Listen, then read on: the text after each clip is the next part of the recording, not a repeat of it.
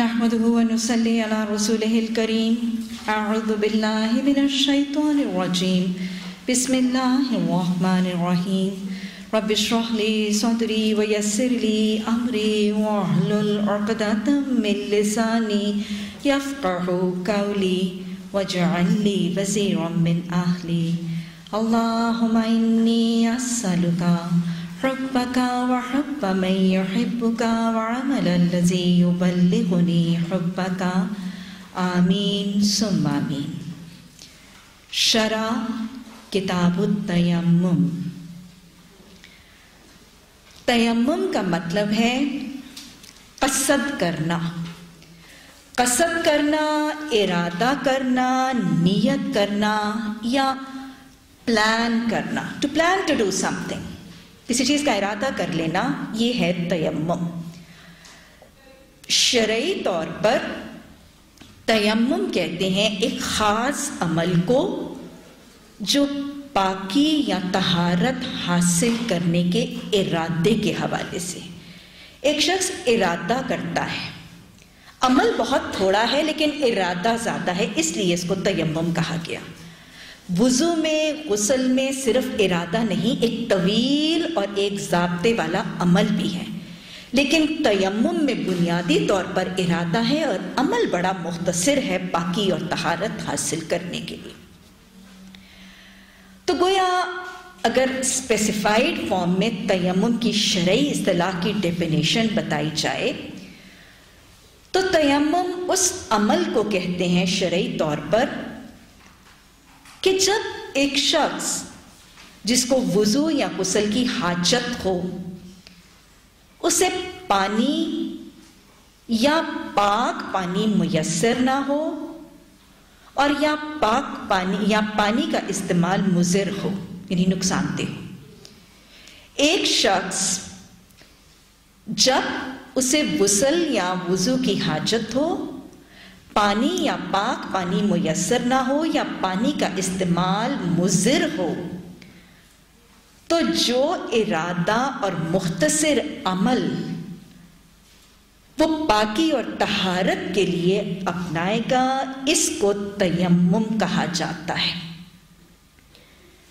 یہ عمل بہت ہی مختصر ہے، لیکن بنیادی طور پر وہ نیت اور ارادہ جس کے ساتھ وہ کرتا ہے، یہی وہ پکا ارادہ ہے۔ بنیادی احکامات اور حدود اور آداب تیمم کے حوالے سے دیکھ لیجیے۔ تیمم کن کن حالتوں میں کیا جا سکتا ہے؟ سب سے پہلے اگر پانی میسر نہیں، کوئی ایسی سچویشن آپ سفر میں ہے، کوئی ایسا کرائسس ہے، کوئی ایسی کلیمٹی کراپ اپ ہو گئی کہ پانی میسر ہی نہیں۔ آج کل کے زمانے میں تو لائٹ جاتی ہے اور چلی ہی جاتی ہیں اور پانی بھی اسی کے ساتھ ڈپینڈنٹ ہے، پانی میسر ہی نہیں۔ اور یہاں پانی ہے، لیکن وہ پانی پاک نہیں، کیونکہ وضو کے لیے، غسل کے لیے کون سے پانی کا ہونا ضروری ہے؟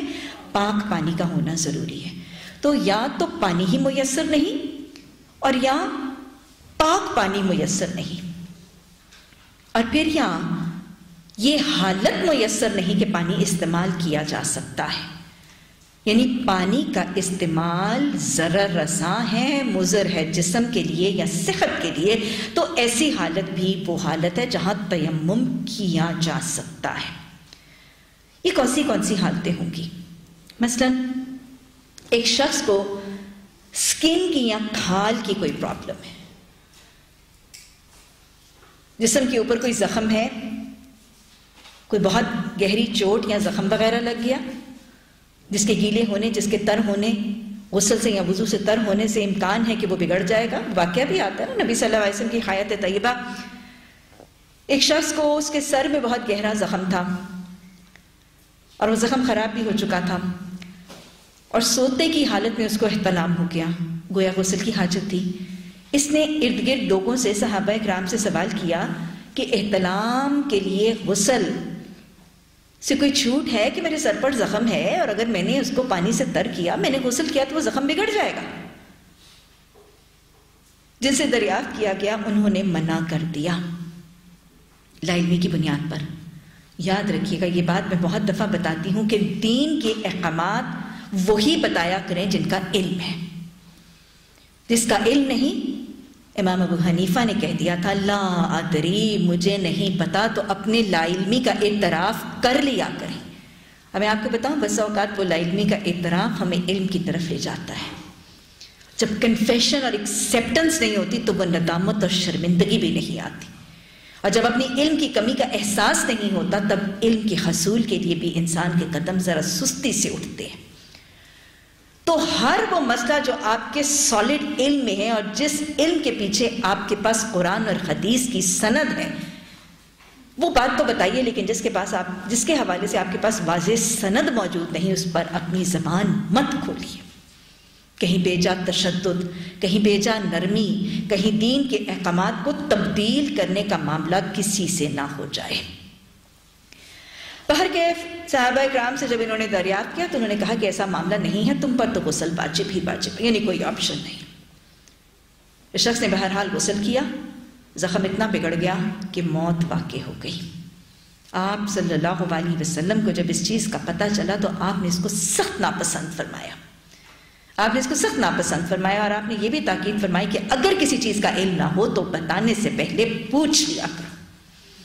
اور یہ ہر قرآن کے طالب علم اور معلم کے لیے بہترین طریقہ کار ہے۔ گویا، اگر زخم کوئی ایسا ہے کہ اس کے وضو یا غسل سے بگڑ جانے کا امکان، کوئی زخم ہے، کوئی چوٹ ہے، کوئی کوئی پھوڑے وغیرہ ہیں کوئی ایگزماز ہیں یا بعض قسم کی کچھ سکن کی انفیکشن جیسے فنگل انفیکشنز ہوتے ہیں، ناخنوں کی فنگل انفیکشنز ہو جاتی ہیں، پاؤں کے درمیان وہ انگلیاں وغیرہ گل جاتی ہیں، تو یہ فنگل انفیکشنز یا ایگزماز یا کوئی ایسی سکن کی پرابلم جس کا یا برنز ایک مریض جل گیا ہے۔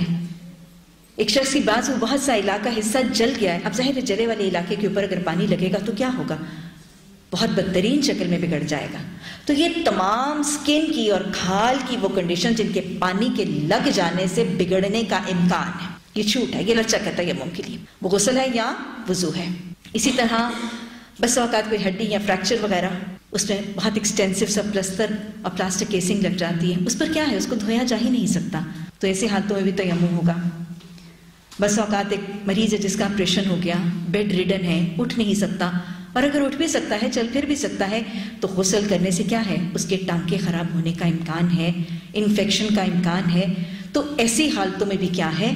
ایسی حالتوں میں بھی تیمم کی اجازت موجود ہے۔ اور یہاں آپ دیکھیں کہ ہمارا دین بہت ہی بہت ہی ایکسٹینسو پیمانے پر احکامات دیتا ہے نا۔ آپ دیکھیں کہ ایک شخص بہت ہی، پہلے ہی بہت بوڑھا ہے، بہت ہی کمزور ہے یا ریپیٹڈ بیماریوں کی وجہ سے بہت ہی ڈبلیٹیٹڈ اور بہت ہی بار بار اس کے اوپر انفیکشن کا چانس ہے۔ مثلا آپ دیکھیں کہ ایک شخص ہے، وہ سردیوں کے موسم میں اس نے ٹھنڈے پانی سے وضو کیا تھا اور اس کو نمونیا ہو گیا۔ اب پھر ٹھنڈا پانی ہی میسر ہے۔ امکان ہے کہ پھر ٹھنڈا پانی استعمال کرے گا، غسل کرے گا یا وضو کرے گا۔ تو نمونیا پہ نمونیا کا مزید بگڑنے کا امکان ہے۔ ایسے شخص کے لیے تیمم کی اجازت موجود ہے۔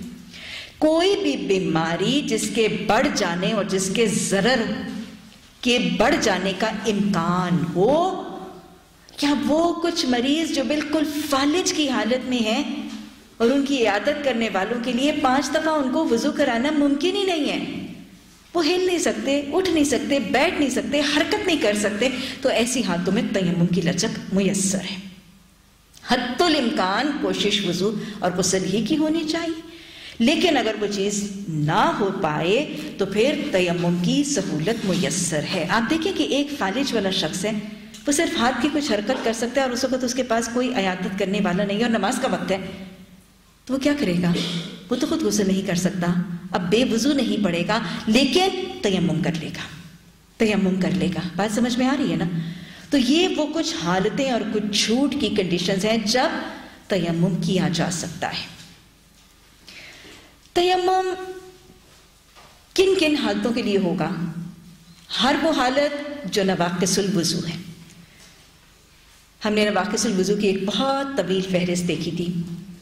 رفع حاجت، بول و براز کا ہونا و سکنار کا کرنا۔ بہت ایک لمبی طویل فہرست ہم نے نواقص الوضو کی پڑھی کتاب الوضو میں۔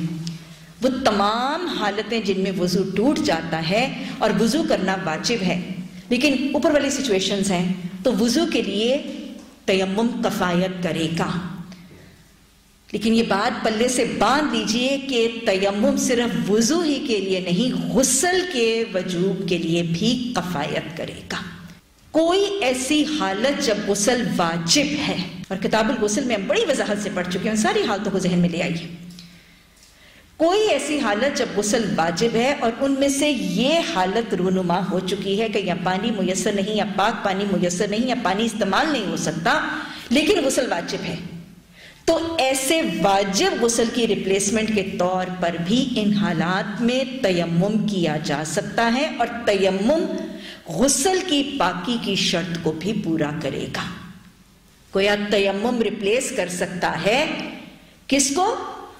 وضو کو بھی اور غسل کو بھی۔ اللہ سبحانہ تعالیٰ نے بڑے وضاحت سے قرآن میں فرمایا، فَلَمْ تَجِدُ مَان فَتَيَمَّمُوا صَعِيدًا طَيِّبًا فَمْسَحُوا بِوَجُوهَكُمْ وَعَيْدِيَكُمْ مِنْ اللہ سبحانہ تعالیٰ نے واضح طور پر قرآن میں ایک سے زائد مقام پر تیمم کی شرط، لچک، طریقہ اور انداز سکھا دیا۔ یہ قرآن سے وضع کیا گیا۔ اگلی بات تیمم کس کے ساتھ ہوگا؟ قرآن کی آیت ابھی آپ نے سنی؟ سعیدن طیبن پاک مٹی، اور خشک مٹی پاک ہے۔ پاک مٹی۔ آگے آپ جا کے واقعہ پڑھیں گے۔ تیمم سے وہ واقعہ آتے ہیں نا کہ ایک صحابی نبی صلی اللہ علیہ وسلم کے اختلام ہوا۔ آپ نماز کے لیے کھڑے ہوئے، انہوں نے با جماعت نماز دیکھی۔ غسل کی حاجت تھی، چونکہ احتلام تو غسل کی حاجت تھی۔ اور پانی نہیں ملا۔ تو انہوں نے کیا کیا؟ زمین میں لوٹنا شروع کر دیا۔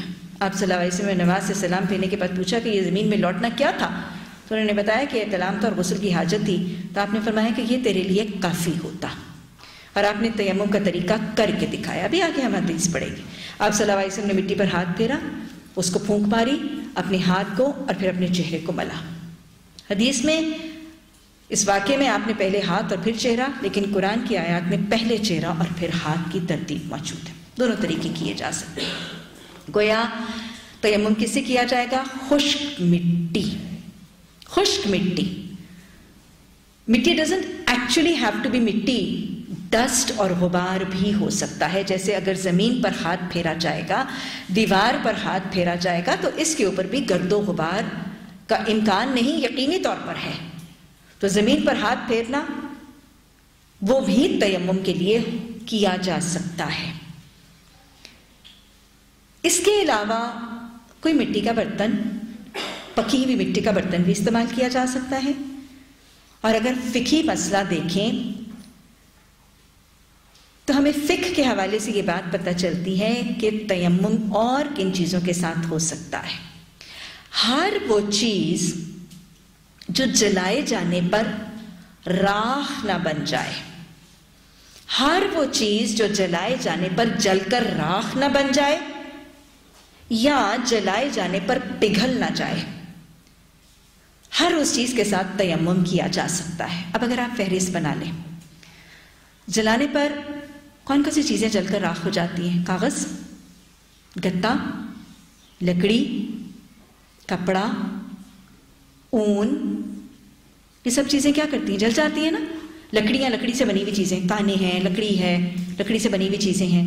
کپڑا، اون، روئی۔ کاغذ گتا یہ سب چیزیں کیا ہیں؟ یہ جل کر راکھ ہو جاتی ہیں۔ کوئلہ وغیرہ، یہ سب جل کر راکھ ہو جاتے ہیں۔ اسی طرح پگھلنے والی چیزیں، نائلون، پلاسٹک پالی ایسٹرز اور پھر بہت ہائی ٹیمپریچر پر آپ کو پتہ ہے، شیشہ بھی میلٹ ہو جاتا ہے ہے نا؟ فرنسز وغیرہ میں شیشہ بھی میلٹ ہوتا ہے اور پھر لوہا بھی تو پگھل جاتا ہے۔ بہت ہائی ٹیمپریچر میں بہت زیادہ بڑا اگر ایندھن جلایا جائے تو پھر میلٹ کرتا ہے، لیکن میلٹ تو ہوتا ہے نا۔ لہٰذا اس کی صرف تو یہی ہوئی۔ تو یہ ساری لوہے کی بنی ہوئی چیزیں، پلاسٹک کی بنی ہوئی چیزیں، شیشے کی بنی ہوئی چیزیں، ان سب سے بھی تیمم نہیں ہو سکتا۔ اوپر والی فہرست والی چیزوں سے بھی نہیں ہوگا اور ان چیزوں سے بھی نہیں ہوگا۔ اب کون سی چیزیں ہیں جو نہ جل کر راکھ ہوتی ہیں اور نہ پگھلتی ہیں؟ مٹی، ریت، پتھر۔ ماربل، سنگ مرمر وغیرہ۔ ہاں ہمارا یہ قرآن اس کا سارا فرش۔ کیونکہ اس پہ اس پہ مٹی بھی ہوگی اور اس پہ ماربل بھی ہے نا؟ مٹی، ریت، پتھر، سنگ مرمر۔ مٹی سے بنے ہوئے برتن، پورسلین کے بنے ہوئے برتن۔ سیمنٹ، بجری، چونا، یہ سب چیزیں نہ پگھلتی ہیں اور نہ ہی راکھ ہوتی ہیں تو لہٰذا جس شخص کو بار بار تیمم کی حاجت ہو کوئی مریض ہے یا کوئی شخص جو لمبی ایسی فلائٹ پر جا رہا ہے کہ وہاں شاید پانی میسر نہ ہوگا تو پھر کوئی مٹی کا چھوٹا سا پیالہ رکھ لیجیے یا ماربل کا کوئی چھوٹا سا کوئی ڈیکوریشن پیس یا کیوری اپنے پاس رکھ لیجیے، یہ پریکٹیکل سیٹ پوائنٹ یا ایک چینی کی پیالی اپنے پاس رکھ لیجیے پورسلین کے برتن، شیشے کے نہیں پورسلین کے برتن جو ہے وہ استعمال ہو سکتے ہیں، یا پورسلین کا چھوٹا سا کوئی کیوری ہو کوئی ڈیکوریشن کا پیس جو ہے وہ بھی استعمال ہو سکتا ہے۔ تو لہٰذا یہ اس پر ہاتھ لگایا جائے گا، ملنے کے بعد، اس کے ساتھ مسا کرنے کے بعد چہرے اور ہاتھ کا مسا کر لیا جائے گا۔ طریقہ کیا ہوگا؟ پھر دہرا لیجیے۔ وہ تمام چیزیں جن کے ساتھ۔ لیکن بہترین کیا ہوگا؟ کیونکہ قرآن نے سعیدن طیبن کہا ہے، تو پاکیزہ مٹی ہی بہترین ہوگی۔ یہ چیزیں بھی یوز کی جا سکتی ہیں انوویشن کے طور پر اگر کچھ اور اویلیبل نہ ہو پریکٹیکلٹی کو سامنے رکھتے ہوئے۔ لیکن بہترین یہی ہوگا کہ پاک مٹی ہی استعمال کی جائے، اینٹ وغیرہ بھی استعمال کی جا سکتی ہے۔ کھنگر، اینٹ، پتھر، یہ سب چیزیں استعمال ہو سکتی ہیں۔ اس پر ہاتھ لگایا جائے گا۔ اگر لوز مڈ وغیرہ ہے تو اس کو پھونک مارا جائے گا۔ قرآن میں فم بے وجوہ کم و آئیدی کم قرآن میں یہ ہے کہ پہلے چہرہ اور پھر اس کے بعد ہاتھ۔ لیکن کچھ حدیث کے واقعات میں پہلے آپ صلی اللہ علیہ وسلم نے ہاتھوں پر مسا کیا اور پھر چہرے پر۔ چہرے پر اور ہاتھوں پر مسا صرف ایک بار ہوگا۔ تین بار مسا کا تصور تیمم کا طریقہ نہیں ہے۔ جیسے وضو ایک بار بھی ہے، دو بار بھی ہے، تین بار بھی ہے، لیکن تیمم میں وہ مسا ایک بار ہے۔ قرآن میں بھی اور حدیث میں بھی یہی طریقہ واضح ہے۔ چہرہ کہاں سے کہاں تک ملا جائے گا؟ وہی چہرے کا حصہ جو وضو کے پانی سے دھونا ضروری تھا، اس پر ہاتھ پھیرا جائے گا۔ ایک ہی دفعہ دونوں ہاتھ چہرے پر پھیر لیے جائیں گے اور ہاتھ سے دونوں ہتھیلیوں کے بیک اور پشت دونوں کو مل لیا جائے گا۔ اور یہ بھی ایک بار۔ ہاتھ کے مسا میں بازو کو پہنی تک، چہرے کے مسا میں سر گردن کان، یہ شامل نہیں کیے جائیں گے۔ میں پھر دوہرا رہی ہوں۔ ہاتھوں کے مسا کو بازو اور کونی تک شامل نہیں کیا جائے گا۔ ہاتھوں کے مسا میں صرف ہاتھ ہے اور چہرے کے مسا میں صرف چہرہ ہے۔ چہرے کے مسا میں سر، کان اور گردن شامل نہیں ہوگا۔ کیونکہ قرآن نے وم بر وجو حکم و آئی دیا کم المرافک یا بے سکم نہیں ہے۔ جہاں پر فرائض وضو تھے، وہاں پہ المرافق القابین سب بتایا گیا۔ یہاں پر صرف تمہارا چہرہ اور تمہارے ہاتھ ہیں، تو لہٰذا مسا میں بازو، کوہنی، پاؤں، ٹخنے، سر کچھ شامل نہیں ہوگا اور یہ صرف ایک دفعہ ہوگا۔ اصل مقصد، مسا کا اصل مقصد وہ حص کو برقرار رکھنا ہے۔ دیکھیں غسل غسل اور وضو سے تو وہ پانی کے بہانے اور ملنے کے ساتھ واقعی نجاستیں اور پلیدگی دور ہوگی۔ مسا کے ساتھ یہ گندگی اور نجاست دور نہیں ہوگی۔ اس میں تو صرف نجاست اور گندگی کو دور کرنے کا ارادہ ہے، وہ حص قائم رکھی گئی ہے۔ دیٹ فیلنگ دیٹ ڈیزائر کہ اگر کوئی شخص ناپاکی کی حالت میں ہے، تو اسی ناپاکی میں منہ کھڑا ہو کے سامنے اللہ کی نماز پڑھنے کی حالت میں کھڑا نہیں ہو جائے گا۔ اس ناپاکی کو دور کرنے کی حص ڈیزائر کو قائم رکھنا اور کچھ نہ کچھ ریچول ضرور کر لیا جائے گا۔ ناپاکی اور نجاست کی حالت میں اللہ کی ملاقات اور عبادت کا عمل اپنایا نہیں جا سکتا۔ یہ ڈیزائر اور حص مینٹین کرنے کے لیے یہ طریقہ تہارت کا سکھا دیا گیا، ورنہ یہ نجاست دور نہیں کرے گا۔ ایکچولی تو گندگی وہی کی وہی ہوگی، کیونکہ نجاست نے فزیکلی تو پانی کے ساتھ ہی دور ہونا تھا۔ تو لہٰذا صرف ہس جو کہ مینٹین ہونی ہے تو صرف ہاتھوں کا ملنا اور چہرے کا منیمل سا ایفرٹ کافی ہے۔ یہ دل کی حالت ہے، یہ ذہن کی سچویشن ہے جو ارائز کی جا رہی ہے تاکہ تربیت رہے۔ تیمم کی میاد کتنی ہوگی؟ جب تک عذر موجود رہے گا۔ پانی جب تک نہیں ملے گا، تب تک تیمم۔ یا پاک پانی نہیں ملے گا، تب تک تیمم۔ یا وہ بیماری یا شرعی جسمانی عذر جب تک جاری رہے گا، تب تک تیمم۔ جو ہی وہ عذر ختم ہو جائے گا، یا وہ عذر جاتا رہے گا یا وہ عذر فوت ہو جائے گا، تو پھر فوراً وضو یا غسل کا عمل اپنایا جائے گا۔ عذر کے ختم ہوتے ہی، مثلا آپ دیکھیں کہ کوئی شخص اپنے پلاسٹک کیسنگ کی وجہ سے نہیں کر رہا تھا، تو پلستر کے اترتے سار غسل واجب تھا تو غسل؟ اور اگر وضو واجب تھا تو وضو۔ بات سمجھ میں آ گئی؟ اگر ایک اپریشن والا مریض اپنے ٹانکوں کے خرابی کی بنیاد پر غسل نہیں کر رہا تھا تو جو ہی ڈاکٹر نے مشورہ دے دیا کہ اب آپ غسل کر سکتے ہیں، تو پھر کیا؟ پھر غسل یا پھر وضو۔ تو گویا میاد صرف تیمم کی اس وقت تک ہوگی جب تک وہ شرعی عذر قائم رہے گا۔ شرعی عذر کے جاتے سار ہی طہارت اور باقی کے اصل طریقوں کو رجوع کر کے پلٹا جائے گا۔ اس پس منظر کے ساتھ اب حدیث کو پڑھیں۔ حدیث نمبر 223 طویل سا واقعہ ہے۔ اور اس واقعے میں تیمم کی آیات کا شان نزول پتہ چلتا ہے کہ تیمم کی آیات کب نازل ہوئی حدیث نمبر 223 نبی صلی اللہ علیہ وسلم کی زوجہ محترمہ حضرت عائشہ رضی اللہ تعالیٰ عنہا سے روایت ہے کہ انہوں نے فرمایا، ہم ایک سفر میں رسول اللہ صلی اللہ علیہ وسلم کے ساتھ نکلے۔ جب ہم بیدا یا ذات الجیش میں پہنچے تو میرا ہاتھ ٹوٹ گیا۔ پہلے حدیث پڑھ لیجیے، پھر میں آپ کو اصول سمجھاتی جاؤں گی۔ میرا ہاتھ ٹوٹ گیا۔ رسول اللہ صلی اللہ علیہ وسلم نے اس کی تلاش کے لیے قیام فرمایا تو دوسرے لوگ بھی آپ کے ساتھ ٹھہر گئے۔ مگر وہاں کہیں پانی نہ تھا۔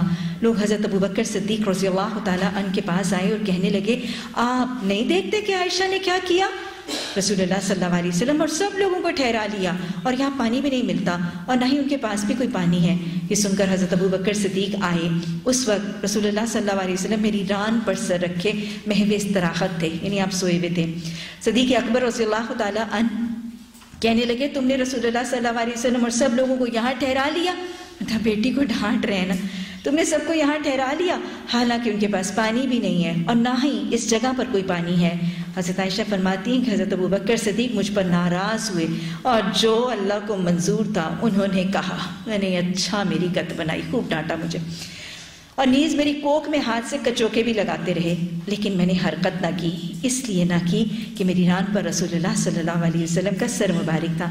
صبح کے وقت جب آپ اس بیاب مقام پر۔ بیاب کس کو کہتے ہیں؟ یعنی بغیر پانی کے مقام پر۔ آپ صلی اللہ علیہ وسلم بیدار ہوئے تو اللہ تعالیٰ نے آیات تیمم نازل فرمائی چنانچہ لوگوں نے تیمم کر لیا۔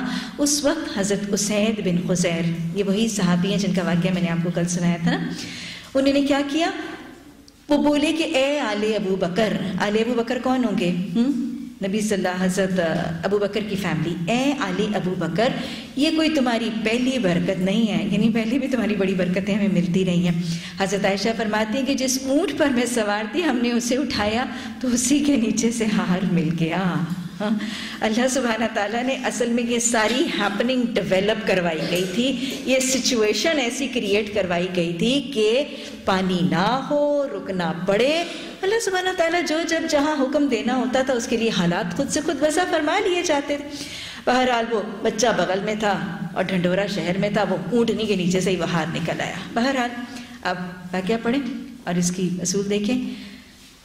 حوالہ کس کا ہے؟ حضرت عائشہ رضی اللہ تعالیٰ عنہ۔ مدنی دور ہے۔ اور یہ مدنی دور کا وہ زمانہ ہے جب نبی صلی اللہ علیہ وسلم غزوہ بنی مستلق سے واپس تشریف لا رہے ہیں۔ تقریباً پانچ چھ ہجری کا زمانہ ہے یہ۔ اکثریت کی روایت میں یہ پانچ ہجری ہے کیونکہ اکثریت کی رائے میں غزوہ بنی مستلق، غزوہ احزاب کے بعد ہوئی، لیکن اس میں کچھ اختلاف رائے۔ انشاءاللہ سورہ احزاب جب ہم پڑھیں گے تو تم وضاحت سے میں غزوہ بنی مستلق کا جو پیریڈ ہے اس پر بات کروں گی۔ بہرحال یہ غزوہ بنی مستلق سے واپسی ہے۔ حضرت عائشہ رضی اللہ تعالی عنہ رسول اللہ صلی اللہ علیہ وسلم کے ساتھ غزوے کے سفر میں آپ کی میت میں سفر فرما رہی ہیں۔ پہلا اصول نبی صلی اللہ علیہ وسلم کا اپنے ازواج متحرات کے ساتھ محبت، قرب اور ان کو اہمیت دینے کا طریقہ کار نظر آ رہا ہے۔ غزبوں میں بھی، جنگوں میں بھی امہات المومنین ساتھ ہیں۔ اور آپ کو پتہ ہے کہ آپ کا طریقہ کیا تھا؟ سب کو نہیں لے جایا جاتا تھا۔ حالانکہ آپ کو پتہ ہے نا کہ نبی صلی اللہ علیہ وسلم کو ازواج متحرات کے ساتھ عدل پر مکلف نہیں کیا گیا تھا۔ آپ پر بوجھ نہیں ڈالا گیا تھا کہ آپ ازواج متحرات کے درمیان عدل اور مساوات اور برابری کریں، لیکن اس کے باوجود آپ جب بھی کسی سفر پر ایون غزوات کے سفر پر روانہ ہوتے، تو امہات المومنین میں سے کون سی ساتھ تشریف لے جائیں گی؟ ہمراہ جانے والی امہات المومنین کے لیے قرآن دازی کی جاتی تھی۔ اور پھر قرآن دازی میں جس ام المومنین کا نام آتا تھا، وہ آپ صلی اللہ علیہ وسلم کے ہمراہ تشریف لے جاتی تھیں۔ عدل بھی ہے، مساوات بھی ہے اور کتنی برابری کا طریقہ بھی موجود ہے۔ اور پھر ایک اور بات کیا پتہ چلتی ہے؟ جب برابر حق کے لوگ ہوں، تو برابر حق والے لوگوں کے درمیان فیصلے کے لیے قرآن اندازی کرنا جائز ہے۔ ویسے قرآن اندازی کے حوالے سے سورہ معدہ میں وضاحت سے بات ہوگی۔ لکی ڈراز اور لکی ڈرپس اور یہ سب کچھ یہ شرعی طور پر جائز نہیں ہے اور اس کی قباحتوں پر انشاءاللہ میں وہی وضاحت پر بات کروں گی۔ لیکن جب برابر حق کے لوگ ہوں یعنی فیصلہ جب برابر حقداروں کے درمیان کرنا ہے اور کسی ایک کی طرف اگر جھک گئے تو باقیوں کی جانبداری کا معاملہ ہوگا، تو فیصلہ کرنے والے کو جانبداری نہ کرنے کے معاملے سے وہ بچا رہے آپ دیکھیں کہ اگر پانچ لوگ ہیں اور فیصلہ کرنے والے نے ایک کے حق میں فیصلہ کر دیا، تو اس کے اوپر کیا سٹیمپ لگ جائے گا؟ یہ اس کی طرفداری کرتا ہے، اس کی جانبداری ہے۔ تو لہٰذا اس فیصلہ کرنے والے کو اس مصیبت اور اس تکلیف اور الزام سے بچانے کے لیے، عدل کے ساتھ فیصلہ کرنے کے لیے قرآن اندازی برابر حقداروں میں کرنا جائز ہے اور سنت کا طریقہ ہے۔ اور یہ کسی بدگمانی اور بدمزگی سے بچانے کا بھی ذریعہ ہے۔ بہرحال آپ صلی اللہ علیہ وسلم نے اس دفعہ اس سفر میں حضرت عائشہ ہی کا نام نکلا اور حضرت عائشہ آپ کے ساتھ اس سفر میں ہمراہ ساتھ تشریف لے گئی سفر کی واپسی پر یہ واقعہ رونما ہوا۔ وہ مدنی دور میں تقریباً پانچ ہجری کے لگ بھگ یہ واقعہ رونما ہوا۔ کہتی ہیں کہ جب ہم بیدا یا ذات الجیش پہنچے تو میرا ہار ٹوٹ کر گر گیا۔ اس کی تلاش کے لیے آپ نے قیام فرما لیا گویا سجنا سجانا حضرت عائشہ ہار پہنتی ہوئی نظر آ رہی ہیں۔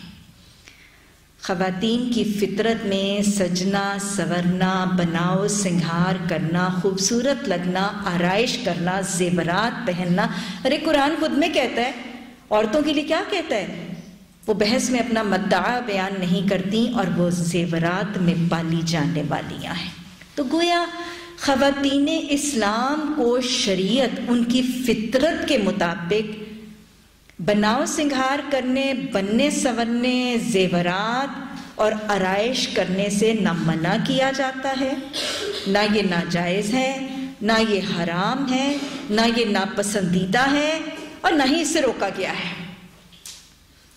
بلکہ عین کچھ حالتوں میں عبادت ہے۔ یہ منع نہیں ہے، حرام نہیں ہے۔ اللہ نے خود قرآن میں فرمایا، من حرم زینت اللہ اللہ اخرج عبادہ کہو کون عبادت، کون حرام کرتے ہیں ان زینتوں کو؟ یہ تو نکالی میں نے اپنے بندوں کے لیے۔ زیب و زینت کرنا، آرائش کرنا، بناؤ، سنگھار کرنا، زیورات پہننا، اوڑھنا، پہننا۔ فطرت بھی ہے عورت کی اور اللہ اپنے دین کے احکامات میں فطری طریقے دے کر فطرت کو مسخ نہیں کرتا۔ نہ یہ حرام ہے، نہ ناجائز ہے، نہ منع ہے، نہ ناپسندیدہ ہے، بلکہ جائز اور پسندیدہ ہے۔ کچھ حالتوں میں اگر شوہر کے لیے وہ بنتی سگجتی راستہ کرتی ہے، تو وہ عبادت کے درجے پہ پہنچنے والا عمل ہے۔ لیکن اس عمل کے لیے اس کو دائرہ کار بتا دیا گیا۔ وَلَا يُبْدِينَ زِينَتَهُنَّ إِلَّا مَا زُحْرَ مِنْهَا۔ زینت تمہارے لیے جائز ہے، لیکن زینت کا ایک دائرہ کار بہرحال موجود ہے۔ غیر محرموں میں یہ زینت دکھاتی نہ پھرنا۔ غیر مسلم عورتوں میں، غیر محرموں میں اور بالغ مرد جو تمہارے محرم نہیں ہیں، اس دائرہ کار کے، اس دائرہ کار کے اندر زینت نہیں ظاہر کرو گی، اس دائرہ کار کے علاوہ باقی ہر جگہ تم اپنی زینت کا اظہار کر سکتے ہو۔ مسلمان عورتیں، تمہارے محرم رشتہ دار مرد، ان کے سامنے زینت کا اظہار ہو سکتا ہے۔ تو گویا حضرت عائشہ اسی حوالے سے سفر میں بھی ہار ساتھ لے جاتی ہوئی نظر آتی ہیں اور میں آپ کو بتاؤں کہ یہ ہار حضرت عائشہ کے نہیں تھا۔ انہوں نے اپنی بہن حضرت اسما بنت بکر سے مستعار یا ادھار لیا تھا۔ اپنی بہن سے یا کسی سے بھی کچھ ادھار لیا جا سکتا ہے۔ اس کا جواز ملتا ہے۔ آپ صلی اللہ علیہ وسلم نے حضرت عائشہ کو منع نہیں کیا، انہوں نے کہ عائشہ کیوں ادھار لیا تھا؟ یہ مصیبت کہاں میرے گلے ڈال دی تھی۔ نہیں، ادھار لیا جا سکتا ہے، بہن سے بھی لیا جا سکتا ہے۔ زیورات وغیرہ بھی لیے جا سکتے ہیں۔ بناؤ سنگھار کی چیزیں بھی لی جا سکتی ہیں۔ اور پھر ایک اور بات سمجھ میں آتی ہے۔ ادھار لی ہوئی چیزوں کو سفر پر بھی ساتھ لے جایا جا سکتا ہے۔ لیکن ساتھ ہی سمجھ آ رہا ہے کہ ادھار لی ہوئی چیزوں کی اور مستعار لی ہوئی چیزوں کی حفاظت کرنی بھی ضروری ہے کیونکہ وہ امانت ہے۔ کتنی کتنی حفاظت ہو رہی ہے؟ پورے کا پورا لشکر رک گیا ہے ہار کو ڈھونڈنے کے لیے۔ مستعار اور ادھار لی ہوئی امانت کہیں کا معاملہ ہے نا؟ اور ویسے بھی نبی صلی اللہ علیہ وسلم کے ہاں حضرت عائشہ کا ہار گم گیا۔ ایک ہار ہی تو تھا اور ایک بیوی ہی کا تو تھا۔ ہاں آج کے دور میں کیا حالات ہیں؟ مردوں کے بیویوں کے ساتھ معاملات کیسے ہیں؟ آج کے کسی مرد کی بیوی سے ایسی حرکت ہو گئی ہوتی۔ ڈانٹ ڈکار تانے، تشنے، تو ہے ہی سست، تو ہے ہی پوڑ ہمیشہ تیرے ساتھ ایسا ہوتا ہے۔ ہر الٹے موقع پر، ہر الٹا، پتہ نہیں اگلی، پچھلی، پتہ نہیں کتنی کتنی داستانی ہو وہ گڑے مردے اکھیڑے جاتے ہیں اور جلی کٹی سنائی جاتی اب چلو آگے، کوئی نہیں۔ لیکن آپ دیکھیں کتنی محبت ہے۔ کتنی محبت ہے اور کتنی اہمیت دی جا رہی ہے، کتنی توجہ دی جا رہی ہے۔ ان کے مسئلے کو مسئلہ سمجھا جا رہا ہے۔ خواتین اسلام کو اگنور نہیں کیا جا رہا۔ بیوی کو اس کی اہمیت کتنی زیادہ دلاتی ہیں۔ میرے نبی صلی اللہ علیہ وسلم کی سنتیں اللہ حب رسول صلی اللہ علیہ وسلم سے آشنا کر دے اللہ وہ رسول صلی اللہ علیہ وسلم جو ہمارے حقوق کی حفاظت اتنی باریکی کے ساتھ سنتوں کے نمونے وضع کر کے کر گئے اللہ ہمیں سراپا ان کی محبت بناتے نبی صلی اللہ علیہ وسلم نے پورے کا پورا لشکر رکاوا زوجہ نبی صلی اللہ علیہ وسلم کا ہار گم گیا۔ کتنی اہمیت دی جاتی ہے اس معاشرے میں عورتوں کو اور کتنی اہمیت تھی وہاں پر عورتوں کی۔ تم میں سے بہترین وہ ہے جو اپنی بیوی کے حق میں بہتر ہے۔ ہاتھ ٹوٹ گیا۔ اب سارے کا سارا لشکر وہ ہے، وہاں پہ رکا ہوا ہے اور وہاں پہ پانی بھی نہیں ہے۔ کتنا ریلیکس سا ماحول ہے نا۔ بس، اور ڈھونڈا جا رہا ہے۔ ہاتھ اب وہ لوگ شکوہ لے کر کس کے پاس آ گئے؟ حضرت ابو بکر صدیق کے پاس۔ گویا ایک شادی شدہ بیٹی کا شکوہ اور شکایت اس کے باپ کے ساتھ کیا جا سکتا ہے۔ یعنی باپ کے پاس ابھی بھی، شادی کے بعد بھی باپ کے پاس اختیار ہے۔ ایک شادی شدہ بیٹی کا شکوہ، شکایت، اس کی اصلاح کی خبر اس کے باپ کو دی جا سکتی ہے۔ ان کے پاس آئے اور انہیں کہا کہ دیکھا نہیں آپ نے عائشہ نے کیا؟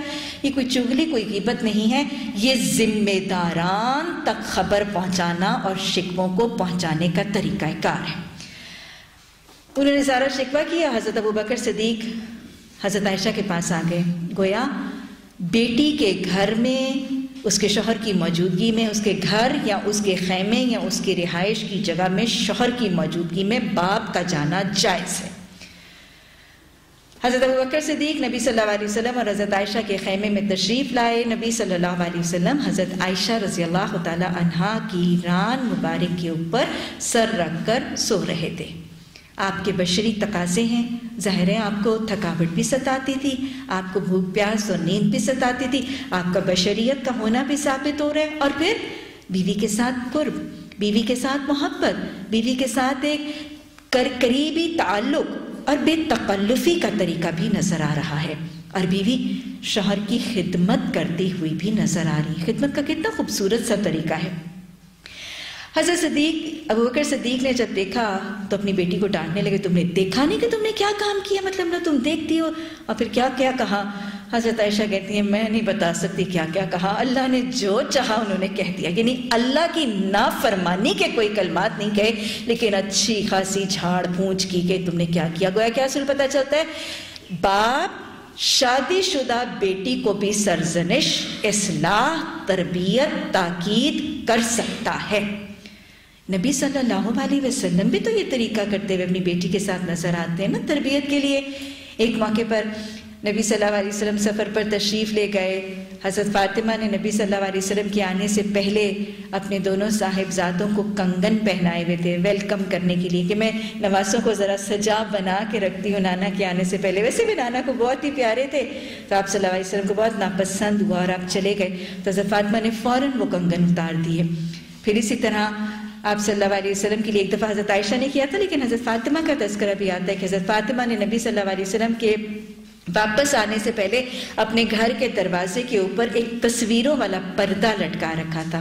مختلف چیزوں کی تصویروں کا تذکرہ ہے، لیکن وہ پردہ لٹکا رکھا تھا۔ آپ صلی اللہ علیہ وسلم اپنی اس بیٹی کے گھر، آپ کو پتہ نا کہ آپ جب سفر سے پہلے آتے تھے، تو سب سے پہلے مسجد نبی میں دو نفل اپنے سفر کی واپسی کے، وہ شکرانے کے نفل ادا کرتے تھے اور پھر سب سے پہلے اپنی بیٹی کے گھر تشریف لے جاتے تھے۔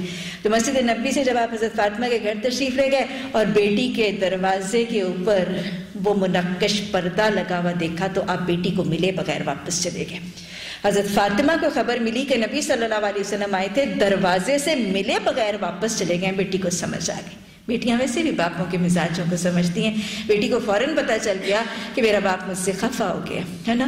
تو اس وقت کیا کیا؟ فوراً محاسبہ کیا۔ کون سا کام تھا جو باہر سے ہی دیکھ کے پتہ چل گیا؟ وہ دروازہ۔ اور وہ دروازے کے حضرت فاطمہ نے وہ کپڑا پھاڑ دیا۔ تو دیکھیں کہ آپ صلی اللہ علیہ وسلم اپنی بیٹی کو اپنے گھر سے رخصت کرنے کے باوجود تربیت ہے، تزکیہ ہے، اصلاح ہے۔ لیکن کتنی محبت سے ہے نا؟ خفا ہو جانا، جوان اولاد کی تربیت کے لیے خفگی، والدین کی خاموشی، ناراضگی کا اظہار اور خفگی اور روٹ جانے کا طریقہ بس اوقات جوان اولاد کی تربیت کا بڑا خوبصورت انداز۔ یہ سنت کا نمونہ ہے۔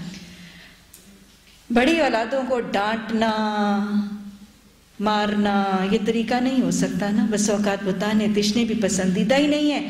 تو لہٰذا وہ اولاد جب بالغ ہو جاتی ہے، حساس ہو جاتی ہے اور پھر ان کو والدین کی احساسات کا خیال ہوتا ہے، تو ایسی اولاد کے ساتھ محض بس اوقات کچھ دیر کے لیے روٹ جانا ان کی تربیت کا بہت خوبصورت سا نسخہ ہے۔ یہ نبی صلی اللہ علیہ وسلم کی تربیت ہے، جیسے آپ نے اپنی اولاد کی تربیت کی، اور آپ سے بہتر اور کوئی نمونہ ہو نہیں سکتا۔ اللہ ہمیں ایسی تربیتیں بھی کرنے کی توفیق عطا فرمائے۔ اللہ ہماری اولاد کو بھی حساس کر دے اور اللہ ہمیں ایسی حساس اولاد بھی بنا دے۔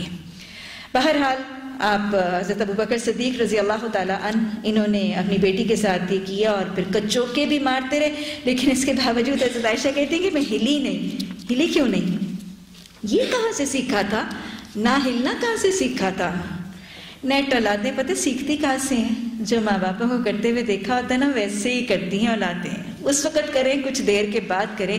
اور لادیں والدین کو کاپی ضرور کرتی ہیں۔ حضرت عائشہ نے نبی صلی اللہ علیہ وسلم کا سر مبارک ان کی ران پر ہے اور وہ ہل نہیں رہی ہیں۔ رودات کہاں سے آ رہی ہے؟ لڑی کہاں سے چلی تھی؟ وہ یار غار ہاں؟ لا تحسن ان اللہ معانا نبی صلی اللہ علیہ وسلم جب غار میں تھے تو آپ صلی اللہ علیہ وسلم کا سر مبارک حضرت ابو بکر صدیق کے ران پر تھا۔ وہاں پر وہ موری نظر آئی تھی، وہ سوراخ نظر آیا تھا، تو یہ فکر لاحق ہوا تھا کہ یہاں سے کوئی زہریلی چیز رسول اللہ صلی اللہ علیہ وسلم کو تکلیف نہ دے۔ حضرت ابو بکر نے وہیں اس سوراخ کے آگے اپنا پاؤں کا انگوٹھا رکھ دیا تھا اور وہ زہریلی چیز نے ڈسا ڈسا اور بہت زیادہ شدید تکلیف تھی۔ اتنی تکلیف تھی کہ حضرت ابو بکر کی آنکھوں سے نا وہ آنسو کا قطرہ گرا اور نبی صلی اللہ علیہ وسلم کی رخسار مبارک پر گرا۔ اسے آپ صلی اللہ علیہ وسلم کو جاگ آئی اور آپ نے وجہ دیکھی۔ آپ نے لعاب دہن لگایا تو وہ تکلیف جو ہے وہ کافور ہو گئی۔ آپ کے لعاب دہن کا معجزہ بھی ہے، لیکن اصل بات ہے کہ وہ یار غار کی قربانی بھی ہے۔ تو وہ جو باپ نے ایک عمل کیا تھا یاد رکھیے گا، جو اللہ اور اللہ کے رسول صلی اللہ علیہ وسلم کی محبت سے سرشار ہو کر میں اور آپ عمل کریں گے، انشاءاللہ وہ عملی نمونہ اولاد کی تربیت کا بہترین طریقہ کار ہوگا۔ آج دو اصول سیکھ لیے۔ عملی طور پر اولادوں کی تربیت کے لیے نمونہ دینا، خود پریکٹیکل نمونے اور اس کا اس کا مظاہرہ کرنا اور دوسرا، اگر اس مظاہروں اور رویوں کے باوجود بھی اصلاح نہ ہو، تو کبھی کبھار ہلکا سا روٹ جانا، خفا ہو جانا، اپنی ناراضگی اور اپنی خفگی کا اظہار کرنا، تاننے، تشنے، شکوے، شکایتیں مار پیٹ کبھی بھی تربیت کا طریقہ نہیں ہوا کرتا۔ بہرحال نبی صلی اللہ علیہ وسلم نے جب اللہ نے چاہا تو آپ صلی اللہ علیہ وسلم بیدار ہوئے، کیونکہ ہوتا کیا ہے، وہی جو اللہ سبحانہ تعالیٰ چاہتے ہیں۔ آپ جب جاگے تو پھر تیمم کی یہ آیات نازل ہوئی اور یہ تیمم کی آیات چونکہ پانی میسر نہیں تھا، آپ نے جب بتایا تو سب لوگوں نے بھی تیمم کیا، آپ نے بھی کیا اور نماز ادا ہوئی۔ چنانچہ لوگوں نے تیمم کر لیا۔ اس وقت حضرت زید بن خزید یعنی یہ جب آیات آئیں تو حضرت، ایک صحابی نے کیا کہا کہ یہ آلے آل ابو بکر صدیق کا ہم پر ایک اور کرم اور ایک اور برکت ہے۔ یعنی بہت سی برکتیں اس خاندان کی وجہ سے نازل ہوتی رہی۔ یہ محبوب ہے نا؟ یہ خاندان تو صدیقوں کا خاندان ہے۔ سچوں کا، سچے گہرے دوستوں کا، سچے معاونوں کا، سچی محبت کرنے والوں کا۔ اور ایسے سچوں سے اور سچی محبت اور دوستیاں نبھانے والوں سے آپ نے بھی کیا کیا؟ سب سے زیادہ پیاری کون؟ عائشہ صدیقہ۔ مردوں میں کون؟ عائشہ صدیقہ کے باپ۔ تو یہی وہ ہیں جو صرف محبوب ہی نہیں ہیں۔ حضرت ابو بکر صدیق رضی اللہ تعالیٰ عنہ، یہ وہ ہیں جن کے لیے آپ نے فرمایا تھا، مجھ پر جتنے لوگوں نے احسان کیے، میں نے اپنے سب محسنوں کے احسان کا بدلہ دیا۔ صرف ایک شخص روئے زمین پر ایسا ہے کہ جس کی ایک رات کے احسان کا بدلہ میں چکا نہ سکا۔ اور یہ وہ کون تھے؟ حضرت ابو بکر صدیق، وہی غار کی رات کہ آپ نے فرمایا کہ ان کے احسان مجھ پر اتنے ہیں جتنے آسمان کے ستارے۔ نبی صلی اللہ علیہ وسلم احسان کرتے بھی تھے، احسان کرنے والوں کے احسان کا اعتراف کرتے اور احسان فراموشی سے بچتے بھی تھے۔ اور آپ صلی اللہ علیہ وسلم احسان کر کے جتا کر اپنے عمل احسان کے کو ضائع کرنے سے شدید اجتناب فرماتے۔ تھے آیات نازل ہوئیں اور پھر جب ہار ہار کہاں سے ملا؟ ہار ڈھونڈے بغیر گئے نہیں تھے۔ ہار خود بخود مل گیا تھا کیونکہ اللہ سبحانہ تعالیٰ جو کرنا چاہتے ہیں، اس کے وسیلے، اسباب۔ نبی صلی اللہ علیہ وسلم کی حیات طیبہ میں بہت سے حالات ایسے رونما کر دیے جاتے تھے کہ خود بخود وہ سچویشن ہوتی تھی اور پھر اس کے ساتھ پرٹیننگ ریلیونٹ احکامات جو ہیں وہ دے دیے جاتے تھے۔ اللہ سبحانہ تعالیٰ ہمیں یہ بہت ہی خوبصورت سے واقعات یاد رکھنے، پوری فصاحت اور بلاغت سے ان کا تعارف کروانے کی توفیق عطا فرمائے۔ ان کو گہرائی سے، ان کو تفکر اور تدبر سے سمجھ کر ان کے اصول، ان کے ضابطے، ان کے پیغام سیکھنے اور ان پر بہترین خلوص سے عمل کرنا ہم سب کے لیے آسان فرما دے۔ ربنا لا تزغ قلوبنا بعد إذ هديتنا وهب لنا من لدنك رحمة إنك أنت الوهاب. سبحانك اللهم وبحمدك.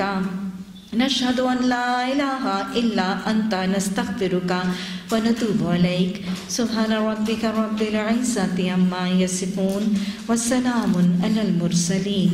والحمد لله رب العالمين. آمين. ثم آمين.